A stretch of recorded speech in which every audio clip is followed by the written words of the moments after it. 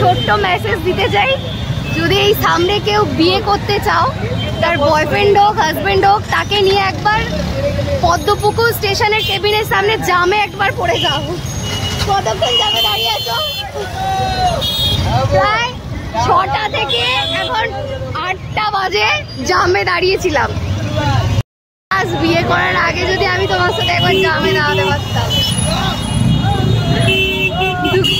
এখনও উঠিনি তো জামেই দাঁড়াবো কি করে? মানুষটাকে বিয়ে করার ইচ্ছাই চলে যাবে। এত গালাগালি আর এত ফার্স্ট স্টেশনে ভুগতে হবে। কি ভুল করে যে আজকে আমি এইটা দিয়ে এসেছিলাম।